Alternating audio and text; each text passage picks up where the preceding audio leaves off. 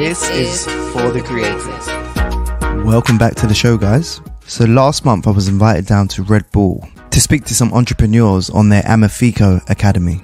The Amaphiko Academy is an eight day course for grassroots social entrepreneurs in the UK who are making a positive difference in their community. The Academy aims to give them inspiration, mentorship, practical skills, and tools they need to take themselves and their projects to their next level. There were 15 social entrepreneurs taking part in the Academy, and I was lucky enough to feature a couple of them on the show. Today I sit down with Alvin Owusu, who's the co-founder of the Advantage Group, which is changing the future of young people from underrepresented backgrounds. The Advantage Group aims to break barriers and transform the narrative of young people. They provide a number of fun and impactful workshops tailored to the needs of specific groups of young people. This has been done through their three day annual academy, their school tour, and their year long development program. In doing this, they have addressed the problem at a very early age, between 15 and 19. So without further ado, please enjoy my conversation with Alvin Owusu. How you doing, man? I'm not too bad. Good. How's your week been? It's been good. It's um it's nothing like I've ever experienced before. So I've been on like incubators, accelerators before. Um but this is this is a this is different. Like you're create they created a whole world so you haven't even experienced Bradford. Like you get picked up, you go to your apartment, you go in the and then you go for breakfast and then after breakfast you have you meet Reggie Yates and Slider Cuts and then after that you go to the cinema and then your face is in the cinema and like everyone there is for you. Like it's, it's super unreal. You've been picked up out of Hackney all the way to Bradford. yeah, and then they just dropped me in, in That's- Bradford. That's crazy. So just tell me a bit about um, your your upbringing. My Um, upbringing. Yeah, I mean, you described it as being a, a triple threat. Um, you know, You know, I don't know. They got that oh, someone's okay. someone it has been described What do you call it? Um, so I think the triple threat. I think it's from something I said a long time ago, and it's someone they collected it from somewhere on the Mm. Okay. internet. But the triple threat being um, when you grow up in a house that is obviously low income, Mm. um, and then single parent, and then In I a- think like a disadvantaged area. as and well. then it's a disadvantaged area. Yeah, I Mm. think that is the triple threat because obviously when you look at like what like the predictors of success, it usually is the area you're from, your household income, your um how many people in your house uh, household, also um your ethnicity often. yeah, I don't know why I didn't count that. Quadruple threat is too much. Quadruple threat. It's just too Triple much. threat's got a better ring to it. Yeah, yeah, yeah, yeah. So, what do you think was a, a disadvantage growing up? um a number of different things. Um so obviously um given so I'm bo- born in Hackney, Mm. um council estate, the blah blah that the typical story. Right. And I think what that meant for me personally was uh, you can't see past it. Um and then so you have you have no role models. You don't have like high aspirations. Even if you are academic, even if you are good at football, even if you are a decent rapper, there's very, very little people who are right next to you that you can say, okay, yeah, he came from here. I want to be like him. Um, so I think that was one of the first things. Yeah. Um, around um, one parent, one parent often means, um, and this is obviously shout out all the single parents. You, you are still perfectly capable, but often what that means is that so my mum had to work quite a bit. Right. So you, a lot of the early de- development stages were reliant on me and the streets. if that makes sense. So Mm. Yeah, um, yeah. So you have And to kind of find your own uh, advantages. exactly that, that and then you learn to navigate the world um, based on other people's perceptions of the world. So then, if you like what people saw as a young black man um, in the UK from Hackney, Mm. you buy into the, even if that isn't truly truly who you are or who you want to be, you just buy into it if that makes sense. And like, so you let other people's perception shape you rather than it being like this holistic development from the home and then the outside, the good environments, and Mm. all of that. So, what sparked the idea of the Advantage Group then? Um, so I think in 2017, after I was kicked out for the third time, I was kind of like, well, this is not it. Like, this isn't this isn't the way I want to live. And at the same, roughly around the same time, both my brothers brothers were out of university as well, so they hadn't completed. And I said, They're yeah, older or younger? and one older, one younger. Okay. Yeah, we used to stress our mum. Yeah, it sounds like it. What was you Um, kicked out for? I was kicked out. So at that point, um, it was just sort of for like non-attendance. Like I just I didn't go, and then I had the board meeting at the end with the deans, and they said things like, um, "Students like you tend to fail. You look like you don't care, so why should we keep you?" You said Oh, a number of like crazy things, and I just said, "Yeah, bun it. Like this isn't the institution I want to be in anyway." I don't like uni, I don't like you, and then I got kicked out. So um, so after the third time I got kicked out, I kind of decided that this this one there's a trend. So like this wasn't just my issue. It's a problem for like a lot of people like me, who looked like me, who sounded like me, who walked and mm. talked like me. So like they might, and I think in trying to explain to my mum, because obviously I got caught and my mum found out and I got in Yeah. trouble. In trying to explain to my mum, I wanted to be able to explain to her, cool, why is this happening? Why is this happening? So obviously, in order to like deflect accountability, I was like, statistically, it was I'm more likely to get kicked out than any, I'm more likely to get dropped drop out. I'm I'm less likely to achieve, less likely to get a grad job after um, university. So what's the point? So what is the point? If that makes sense. Um, and then so I just went through that period of just being out. That's probably the longest time I'd been out. I was out of education for like six, seven months, and that was just the whole development period. But I was I never let go of those facts, and I realized that like some of the main reasons that I did get kicked out and the reasons I'd consistently got into trouble were I didn't have role models. There was no representation, no visibility of like black young black male role models or whatever. So I was thinking, how do I how do I create that for myself? Because I had to sort myself out. Like Yeah. I couldn't be a Yeah. bum or anything. So how do I sort that self out for me? Um, and then I started to get mentors, and I got back into university. Then I started getting internships and whatever. Started getting, I got first in my first year, and then it was like, okay, cool. This kind of works for me. How do I help other people? Because it was simple. It was difficult, and I worked hard, but it was simple enough. And I felt like when I got access to that information, I was aware of the problem. Got access to the information. What can I build to like help other people? Right. Yeah, So you mentioned that you got a mentor Yeah. um, at that stage. So y- you mean you're out of education for seven months and you Yeah. made a decision that look, I need to sort myself out. yeah. How did you go about finding? Because you said that there wasn't really any role models. How did you then find a role model? So I think what it was like my first mentors, I didn't even know them. It was just people that I decided to look up to, like Right. actively look up to. So these guys on the internet, like so this guy Joshua Bright, mm-hmm. I felt like he was like he proposed like the first like young black man that I saw. So he's probably like not that much older than me, twenty seven. Didn't know him. I know him now. Didn't know him that well. Um, and it was just like I saw him, I saw what he had achieved. I went in his LinkedIn, saw the backdrop, and sort of like plotted my life around a lot of these other guys. Okay. this guy Victor Azubike, like just a number of different young black men. I saw you guys are shelling in this space.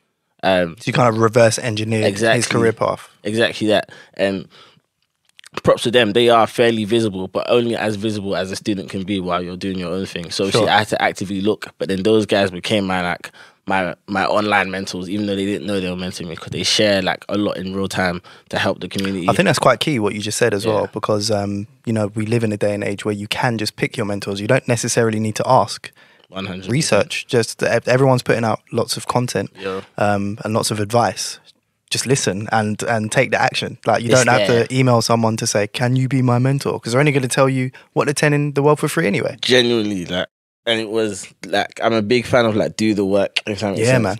and so yeah it was literally sit, I had seven months I had nothing and I think before then I didn't understand like the idea of like going for a coffee chat anyway so like Mm. so it was sort of I don't know like big myself up it was kind of sort of out of fear sort of out of there's loads of information I'm kind of good at research given the research proposal that I gave to my mom Right. not to get in trouble so Yeah, yeah, yeah. let me just use that and just scan their life and how are they talking, how are they walking, and how are they. That did cause a few problems for myself in terms of identity. But like I definitely built my ear- the early stages of tag and myself Mm. were built off, off of these guys. So what is tag?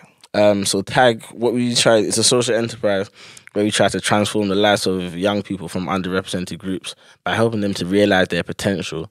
And so we affect this change through like acad- summer academies, hackathons.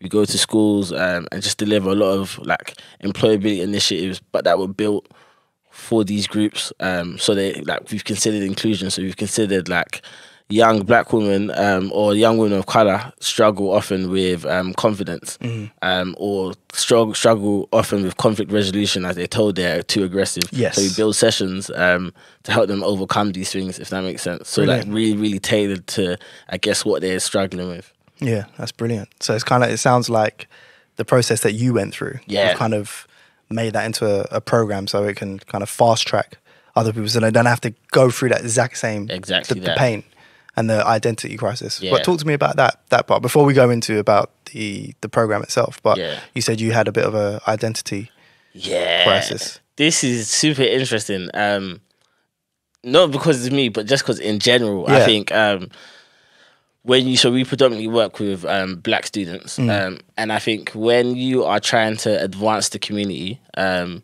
often what that means is people are trying to raise the culture at the same time, Right. Um, and for everything that we hold dear to the culture, and the culture means different things for a lot of people, Yeah. Um, and I think that's what happened to me, whereby I um, I in trying to advance myself what that meant was everything that I held dear in terms of like the way I speak is Mm. um is homage to the people that I've grown up with, the people that taught me what I know.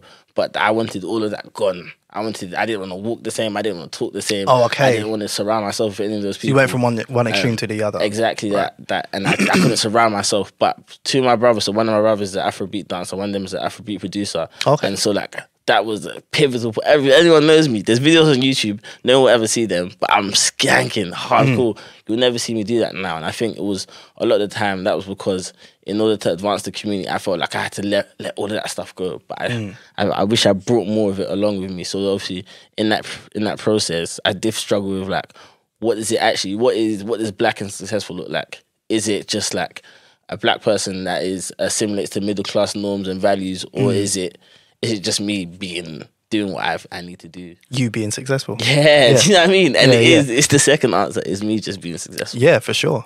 But where there's not many examples of that, it's hard to say, all right, yeah, I need to do Yeah. A, B, and C. Because obviously, if you're seeing people on LinkedIn, it's Yeah. obviously suits and ties and stuff, you're like, okay, this is how I have to be in order to get there. Yeah. So, no, it's good that you that you went through that. That's why I wanted to kind of drill down on that Mm-hmm. because I think that's going to be helpful for people. Um, so, uh, stu- do you call them students? Um, Yeah. Okay, so a student signs up for um, the Advantage Group. Yeah. Uh, and they go through. Is it like a three day academy? Yeah. That you have. Um, What do they they get out of that? What um, advantages do they leave with after those three days? Cool. So the academy is um, super important. One of the best things I think we do because over the three days, students are challenged. So the last um, academy we did was with Facebook. So we challenged these young people to build a business that solves problems in society, in pro- problem, big problems in fashion, e.g., sustainability issues, e.g., cultural appropriation. Um, so how do you build a business to overcome these things? So they spent two days and then they they um, created a deck and then they pitched to senior Facebook employees. And I think that was cool because now these young people have a metric to show to people. They say, cool. So I led a team of 10 to deliver this and this was my deliverable and this is what I achieved. I won this and now I'm on the accelerator with X, Y, and Z. Does that make sense? Like, Incredible. whereas um, I think sometimes when you do, so I think everything, the academy is just focused on like, helping the young people to build metrics because their CVs don't look like that and Mm. traditionally wouldn't have, like, where do you get that work experience as a 15 year old? So we like just come packed it into the three days. It's Um, amazing. Other than that, so around a lot of the this year's academy was like values, um, like leading with character. So obviously teaching young people to be leaders, but like lead in a way that you help others to rise with you as well. Because obviously, um, in me, so back to the identity thing, in me trying to like become who I wanted to become, I wasn't thinking about everyone else around Right. me. It was just like I need to get myself to the top floor, Canary Wharf. Right. Um, but then this is the lift can be sent back down. So obviously teach how to, like creating sessions around that. So we and then we just cover the basic competencies like CVs, cover letters, public Yeah. speaking, Yeah. um, just so that the foundation is there, and then you just build on top of that. It's amazing. It's amazing exposure as well, especially at that age. What's the age group that you Um, target? 15 to 19. Brilliant. Yeah. Brilliant. So, have you had any obstacles in creating the Advantage Group? Um, yeah. Like any resistance, like from potential partners? Or it's not easy just to like call up Facebook or email them and just say, "Look, I've, I've got this thing." You know, it's not as hard as you think it is. Um, Mm. I think what is actually harder is to get into schools. Um, Yeah. Because I think schools don't see it as, especially during the early stages. If you're in year eight, your teacher doesn't understand why, or year nine, your teacher doesn't understand why you might need to miss school, um, because that takes away from you doing your education and sitting your GCSEs, etc., and getting the grade. Um, they don't understand the link between people seeing, uh, being actually able to see what is at the end of education affecting like that increase in grades right now. They don't see how it is their responsibility that like the disparity we see between like BAME um, employment and obviously white employment. Mm. They don't see how they can affect that now. I think the the priority is just we need to teach them to get good grades. And Yeah, is it. exactly. Yeah, yeah. So I'm not a priority for them. So that was a little bit difficult. in terms of pitching the value of Yeah, yeah, yeah. of it. How did you then get past that? Because you do you've partnered with some schools. Yeah, yeah. Um, how do you? My co-founder, um, Tumishe, she's um doesn't really take no for an answer to be completely honest. yeah, yeah. persistence. She, yeah, yeah. She just marched into the schools, um, and like she's very personable, and so I, that isn't the side that I think I deal with Right. best. I was definitely focused on the like building corporate partners because Mm. I feel like they saw me as um a friendlier face because I was on the. The shiny suit to the top of the thing, Right, Yeah, right, yeah, yeah. right. So it was kind of easier for me to speak that language. Yeah, playing to your strengths though. Yeah, that's very key. Very Yeah. key. So yeah, so you mentioned like partnering with corporates. Um, so you've created like a pipeline or a fast track Yeah. um, into that world Yeah. for your uh, for your graduates. What um, what's your like favorite success story from someone that's gone through the academy and then gone into the corporate world? Ah, so I don't. We have. I think so. It's a, it's been a year and a half. Um, and then so we haven't got anyone into employment just yet. Okay. Because it starts like they're usually 15, 16. Yeah, yeah, um, yeah. So then, and even if you're 19, you're going to like second year university. Mm. But my favorite success story. Because they could all potentially listen to this and they know who they are. Okay. Um, I'm trying to think. But there is there are a number of things. There there are times and we have different um goalposts for different people. Sure, Um, exactly. So there was one of my absolute absolute favorites. Um his was he was kicked out of um college and then he was kicked out of another college and now he's in college. And then he finished his first year and now he's got a job and he worked this summer. He worked full time this summer and he had a bit of money in his pocket. So he Mm. didn't have to do X, Y, and Z. I'm super proud of him. And obviously now he's using that money that he raised um, to book studio time to like get his music career like started. And I actually that is a, a massive success story. Um, Sounds quite similar to yours. yeah, in a way. What you could can't tell him that he'll get too excited.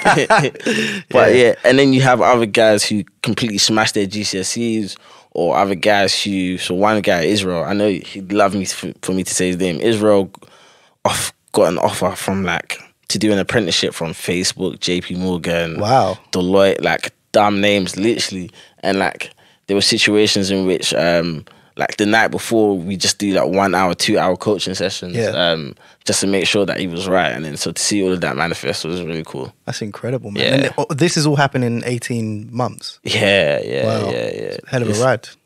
It is, it is. Yeah. That's it's, it can be overwhelming though. Yeah, yeah, yeah. of course, of course.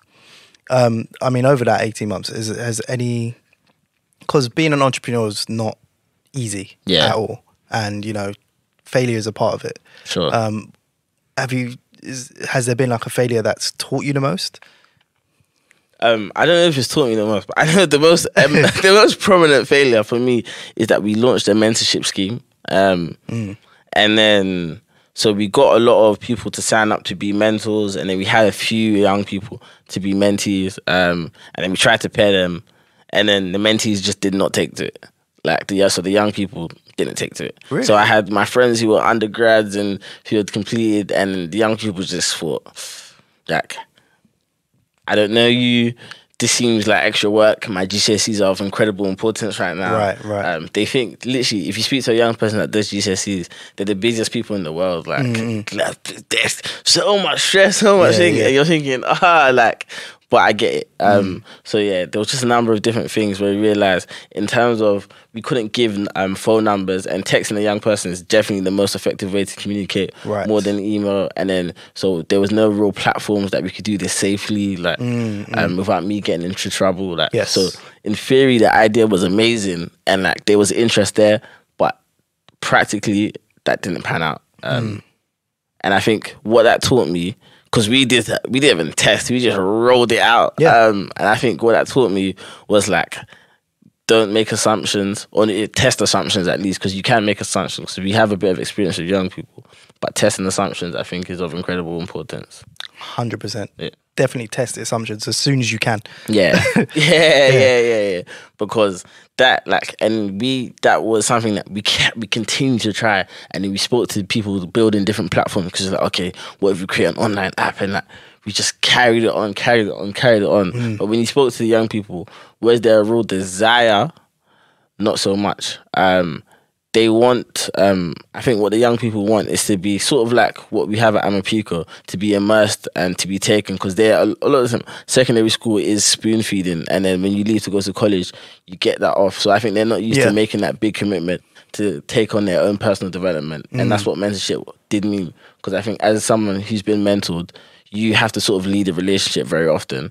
Um, yes. Yes. and and you have to you- want it. Exactly, you have to want it, and that's, they didn't. So yeah, yeah, yeah. So maybe it's a timing thing. yeah, definitely. Yeah. I think rolling out for maybe older students, we're still like thinking, how can we iterate? Because it still makes sense. And there's- Yes. Yeah. and there's like access to those sick people, like to some of the people at Red Bull would be interested in doing that. Access to those people is invaluable. Mm. But how do you how do you do it in a way that they want it? Exactly. Yeah. Yeah. It's all about timing. Yeah. All about timing. But yeah, you've learned so many great things. Definitely. Um, talking about that. So you've been here for is this the sixth day? Bro, Uh, I don't know. it's just all it's all Yeah, into yeah, one. yeah. But um, what things have you learned um, in your time here that you're gonna implement um, for tag? Have I learned? I think I've I learned I learned that people so I think for myself because I think a lot of I'm this Amaphiko's for my business, but these these first ten days are a lot about founder development, which I think I've never got before. So I think Sade Brown said um, people will see your value before you even see it, and that struck me. Like because I don't think I had been like like for example, so it was easy-ish to get into Facebook and it was easy-ish to get into Google, and I didn't realize the value I was providing for them. Right. So a lot of the things that we've done, we haven't charged that much, so it's been completely free because I didn't realize the value that we provided to these people. And then even like the interest that I get here, I'm realizing, ah, like there is there is something that people saw in myself that I didn't see, um, and now I need to start leveraging that. So I think for myself personally, like now when I leave here, like understanding that, hey, bro, like you're you're doing well, and people see some sort of value, so maybe try and capture that value somehow and feed that back into tag. if that makes- Definitely. and then around building tag, I think how to create like p- brand partnerships better. Like so, really understanding my values, understanding the, their values, their their values and their motives. Um, so Sam, do you know Liberty? Yes, actually. Yes, Yeah, the yeah. guy that runs it. I can't remember. I'm gonna say his surname wrong, but he was here earlier. Okay. and he was like, "Ah." so, yeah, he was saying that, uh, like when run, running Liberty to get a brand partnership, maybe he spoke to someone senior and they said, "Oh yeah, the CEO kind of wants an OBE." He mentioned it in passing, so it would be a good time for you you to bring your social enterprise into there. I was thinking, crazy. I feel like I looked at what I saw on exterior, I saw like a Mm. brand website, but that sometimes isn't enough to understand what is their real motive. Because if you know yeah. the CEO wants an OBE, you know you are in a perfect position to pitch your business to him. Right. Do you know what I mean? So Yeah. like little things like that, like lever actually leveraging my network. So Mm. leveraging my network isn't just saying, "Oh, hi, can you do this for me? Can you give me a space? Hi, can you do like really, really see like and get where, where can you add value? Yeah, where can you really add value? I guess Mm. Yeah, I like that. That was good. Yeah, but that's that's what that's what your whole um, Yeah. this whole chat's been about. It's been about adding value. Definitely. Um, you're adding value to the students coming up, and um, what you've learned this week is Mm-hmm. You, you you are adding a lot of value, but maybe you didn't realize it in yourself, and now you're going to leave here knowing what that value is, Mm. and that's going to feed back through the organization and through the students as well, and with the partnerships as well, man. So. Well done, man. Well Thank done. you very much. Well done. Where can people um, find Tag online if, if there's any potential students listening? Um, How do they uh, get involved? if any students are listening or anyone's listening, our social media pages at the Advantage Group. Group is spelled GRP, and my personals are at Kwame GB. Kwame GB. Yeah. Cool, man. Get people to to reach out to you for sure. Sweet. Yeah, man. It's been wicked having you on. Thank you for having me. All good, man. Nice one. Bless.